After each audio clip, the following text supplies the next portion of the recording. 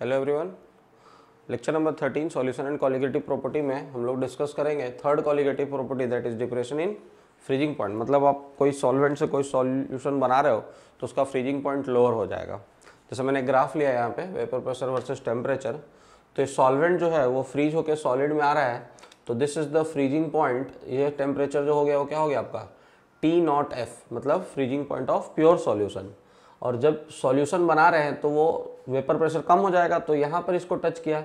तो देखो, ये हो गया टी एफ़ तो हम यहाँ से देख सकते हैं कि T F is less than T not F तो डेल्टा टी एफ़ का फॉर्मूला क्या आ गया यहाँ से हमारे लिए? T not F minus T F this is depression in freezing point है ना? और according to colligative property root delta T F is directly proportional to molality तो डेल्टा टी एफ़ क्या हो गया? आई इंटू यहाँ पर हम लोग कांस्टेंट लेंगे के एफ़ इंटू एम जैसे हम लोगों ने एलिवेशन में लिया था के वी और उसका नाम क्या था? मोलल एलिवेशन कांस्टेंट उसी तरह से यहाँ पर के एफ़ का क्या नाम होगा? मोलल डिप्रेशन कांस्टेंट और हम लोग के एफ़ को क्रायोस्कोपिक कांस्टेंट भी कहते हैं। क्या कहते हैं? क्रायोस्कोपिक कांस्टेंट अगर आई वन है तो डेल्टा टी एफ़ क्या हो जाएगा? Delta T F is equal to I one है तो के एफ़ इंटू एम और के एफ़ को हम लोग लिख सकते हैं क्रायोस्कोपिक कांस्टेंट। क्या कह सकते हैं? क्रायोस्कोपिक कांस्टेंट और के एफ़ का फॉर्मूला होता है R into T not F into M solvent upon M solvent upon thousand into delta H fusion ठीक है? और वाटर का के एफ़ क्या लेंगे? वाटर का के एफ़ होता है 1.86 कैलविन के जी पर मोल कैलविन के जी पर मोल तो इस तरह से हम लोग किसी भी सॉल्यूशन का फ्रीजिंग पॉइंट कैलकुलेट कर सकते हैं। एक छोटा सा एग्जांपल हम लोग यहाँ पे देखेंगे, जिससे कि हम दोनों चीज़ों को रिलेट कर सकें। एक बॉइलिंग पॉइंट और फ्रीजिंग पॉइंट और आरएलवीपी अभी तक हमने जितना ही पढ़ा है।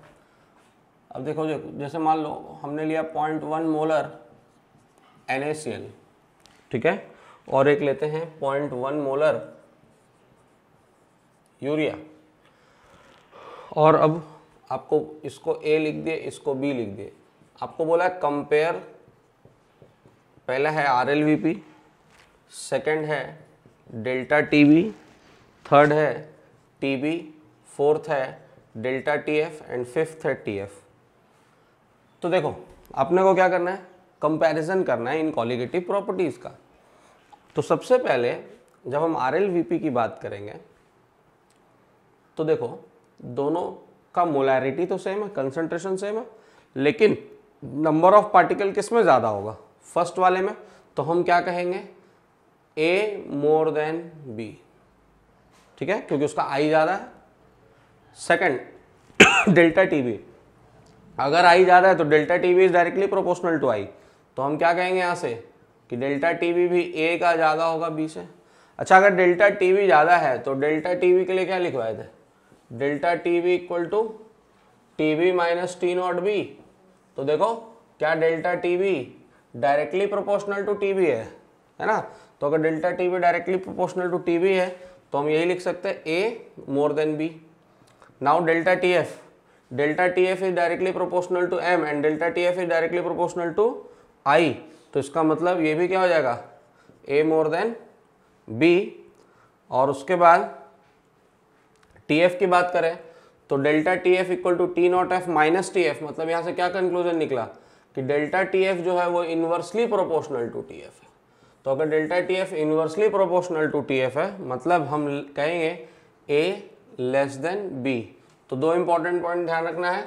Delta T V T V का डायरेक्टली प्रोपोर्शनल होता है, जबकि delta T F T F के इन्वर्सली प्रोपोर्शनल होता है, ठीक है? तो इस तरह से सारे कॉलिगेटिव प्रॉपर्टी आपस में इंटर रिलेटेड है। In the next lecture will be discussing with fourth and last colligative property that is osmotic pressure thank you